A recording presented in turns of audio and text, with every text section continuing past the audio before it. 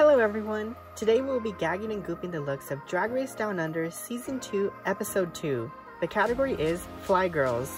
Let's see what insects the queens are and let's go. First up is Molly Poppinz. I really do enjoy a neon moment and this is no exception. There's structure, there's color, and there's a mix of fabrics and shapes that makes this insect outfit really shine. The makeup, headpiece, and wig are spectacular and it's a gag. Next up is Kween Kong.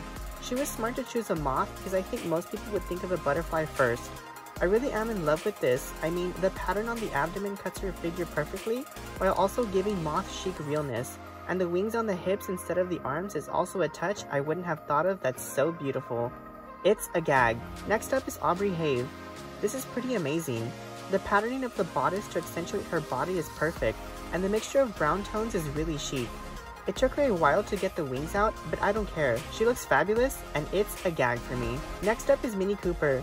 And here's the butterfly I was talking about. No, but this is really beautiful to look at, and I like the addition of the fur on the collar. It adds a level of sophistication, and the silhouette brings that out even more. She looks gorgeous, and it's a gag. Next up is Beverly Kills. I don't know what insect this is, but it looks so realistic, so cool, and I just want to be her. The makeup is very dynamic and pulls me into her insect look even further.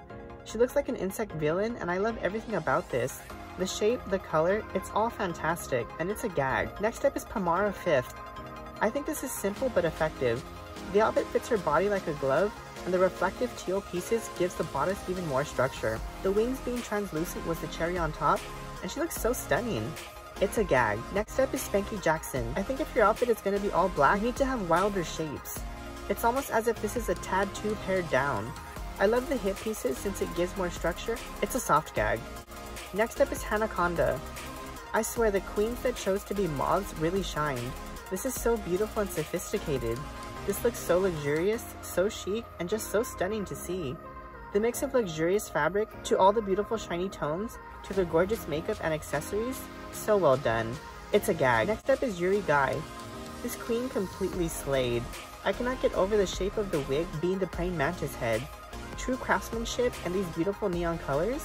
The neon green and pink are so vivid and the praying mantis arms and reflective corset go so well with the outfit. The makeup is out of this world and it's a gag. So that is it for today's runway video. Don't forget to like and subscribe for more drag content. Kween Kong won the lip sync against Aubrey Haive. Thank y'all for watching and I am so sorry for the late uploads. I was dealing with COVID, but I am back. I will see y'all next time. Bye everyone!